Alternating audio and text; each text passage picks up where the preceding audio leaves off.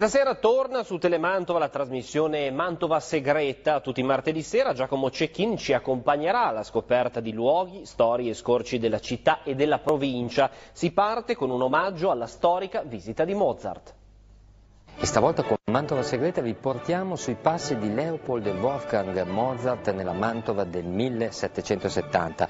È gennaio, c'è un freddo glaciale e però i Mozart frequentano la città, incontrano i nobili, mangeranno a eh, Palazzo d'Arco, passeranno per il ghetto ebraico e soprattutto arriveranno qui al Teatro Bibiena dove ci sarà il famoso concerto di questo genio adolescente. Noi nella puntata di oggi proviamo a invitare invitarvi a mettervi gli occhiali del 1700 perché così potrete guardare una città che cambia sotto i vostri occhi e vedrete che forse Mantova non è cambiata così tanto ma che ci sono tantissime storie e tantissimi segreti da scoprire e da raccontare.